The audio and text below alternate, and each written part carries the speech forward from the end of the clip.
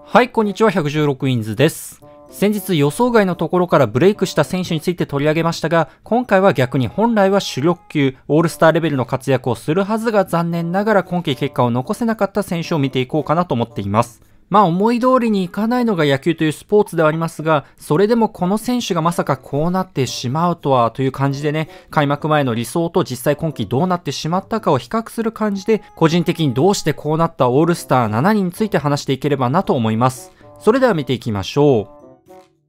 はい、まず1人目はパドレスのフェルナンド・タティス・ジュニア。タティスは昨年怪我でちょくちょく離脱したため出場は130試合にとどまりましたが、それでもリーグトップの42本のホームラン。デビューしてから毎年 WRC プラス150以上叩き出しているショートなので、当然ながらパドレスも今季彼に打線の中軸としてオールスター級のパフォーマンス、怪我さえなければ今年ついに MVP を狙うような年に期待していたと思います。が、現実は厳しいタティスまさかの今季出場ゼロ。バイク事故で骨折していたことがロックアウト明けに発覚し、開幕から長期離脱が確定してしまうと、8月にようやく復帰かとなったタイミングで今度は禁止薬物使用が発覚して80試合の出場を停止。タティスがシーズン途中に復帰してパドレスに勢いをもたらすはずが、こうなってしまったのは本当に残念でならないですよね。幸いパドレスはタティスの穴をうまく埋め、特にショートのキム・ハソンの活躍などもあって、久々にフルシーズンでのプレーオフ出場。プレーオフでもメッツとドジャースを破って NLCS まで駒を進める快進撃で、最終的にタティス不在の影響が出なかったのは良かったんですが、まあ失った信頼を取り戻すためには来季出場停止明けしっかり活躍するほかないでしょう。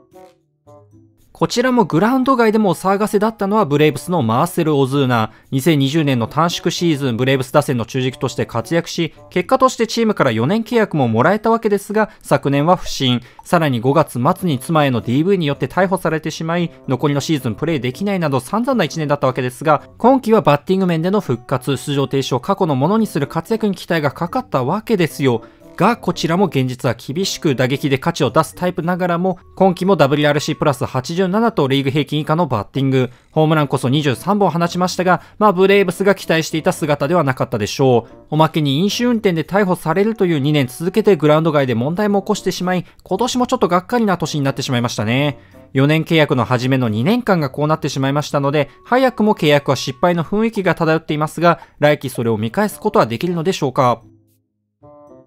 何かと不運だったのが3人目、レッドソックスのクリス・セール。昨年トミー・ジョン手術の長いリハビリから戻り、今季はフルシーズン本格的な復帰を印象づける1年になるはずでした。年俸も3000万ドルももらっていますので、チームとしても投手陣を引っ張る存在として今季期待していたと思います。しかし今季のセール結論から言うと半年間で3回も骨折する怪我に苦しめられた1年となってしまいましたね。ロックアウト明けに肋骨の疲労骨折が発覚し、これで開幕からの長期離脱が決まると、7月にようやく復帰することができましたが、復帰2戦目のヤンキース戦で打球が直撃するアクシデントに見舞われ、左手薬指を骨折し、再度の離脱。極めつけは8月に自転車事故で手首を骨折してしまい、シーズンが終了してしまいました。なので今季のセールはわずか2先発、5回3分の2しか投げられず1年間終了。怪我などでどうしようもない部分もあるとはいえ、ただ個人的にも今季セールがそれこそカムバク昇級の活躍を見せるんじゃないかと、密かに思っていたりもしただけに、こんなに骨折する事態になってしまったのは想定外でした。4人目はエンゼルスのジャレット・ウォルシュ。野手転向からメジャー昇格まで駆け上がったウォルシュは、昨年怪我人の多かったエンゼルス打線の中では数少ない明るい話題で、144試合でホームラン29本、トラウトやレンドーンを書いた打線の中軸として活躍し、オールスターにも選出されましたよね。今季も同様に打線の中軸として期待されていたはずです。左投手が苦手なのでそこは使いにくい部分はありますが、その課題を少しでも克服する兆しが見えればさらなる成績向上も見込めそうでもありました。ところが今季は5月割と好調だったことを除けばほぼ1年間低調なシーズン。なかなか勢いに乗れず118試合で WRC プラス78と平均以下のバッティングで、今季もトラウトとレンドーンが長期離脱したエンゼルス打線の頻打ぶりに拍車をかけてしまったのは残念でしたね。もっともウォルシュに関してはシーズン終盤、胸郭出口症候群の手術を受けていましたので、それが今季の不振に影響していた可能性ももしかしたらありそう。胸郭出口症候群から本来のパフォーマンスに戻るのはなかなかスムーズにいかないことが多い印象なので、昨年並みのバッティングを取り戻せるかは何とも言えませんが、エンゼルスには欠かせないと思いますので、なんとか復活してほしい選手です。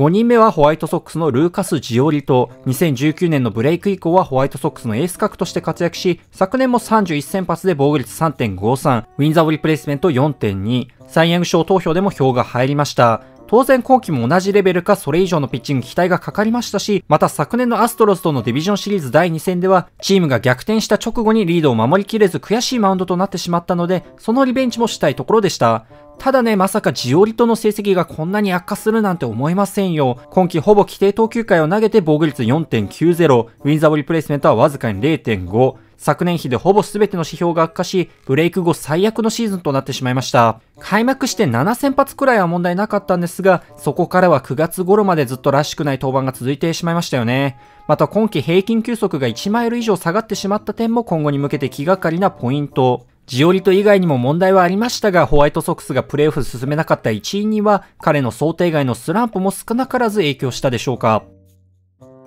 6人目はブルージェイズの菊池雄星選手。オフに予想外にマリナーズとの契約からオプトアウトし、結果3年契約をつかみ取ったので、その判断は大正解だったわけですが、ブルージェイズとしては昨年前半戦オールスターに選ばれたピッチングを思い出すことに期待。特にピート・ウォーカー投手コーチの下で昨年大ブレイクを果たしたロビー・レイと同じように、ブレイクすることに相当自信もあったはずです。そうじゃなきゃ3年契約なんて出さないでしょうからね。しかしそんなブルージェイズの希望を打ち砕いた今季の菊池選手のピッチング、32試合で防御率5.19と全く振るわず、シーズン通してコントロールに苦しむ1年となってしまいました。ブルージェイズも菊池選手がきっかけをつかむまでずっと我慢し続けましたが、シーズン終盤プレーオフ争いも激しくなる中で、とうとう彼をローテーションから外さざるを得ない事態にもなっちゃいましたよね。まあ、昨年の後半戦の荒れっぷりがそのまま今季も続いてしまった感じ、すごいボールを持っているだけに実に惜しい、ブルージェイズのローテーション開幕時点ではなかなか豪華だなと思っていましたが、ベリオスの不振、リュヒョンジンの怪我、そして菊池選手と誤算の多い年になってしまいました。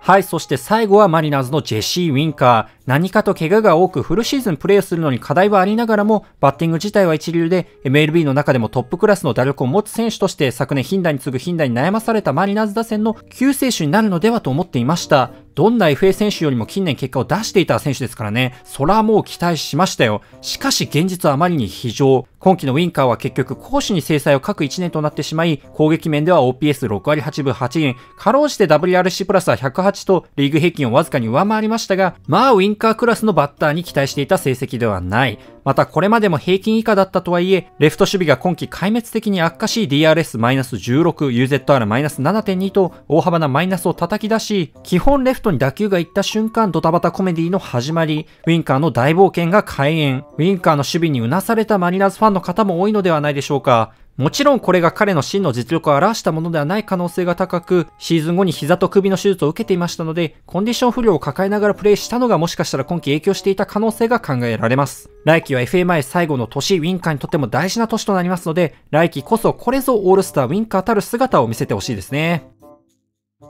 という感じでこちらが個人的にどうしてこうなっちゃったのと思った7人ですが、まあオールスター選ばれるレベルの選手でもこういった年はあるんですね。世界最高峰のリーグで活躍し続ける難しさがよくわかると思いましたが、来季は彼らにとってバウンスバックの年となることに期待したいです。ということで今回の動画は以上としたいと思います。今後もですね、MLB に関する動画上げていきますので、興味のある方はぜひチャンネル登録していただけると幸いです。それではご視聴ありがとうございました。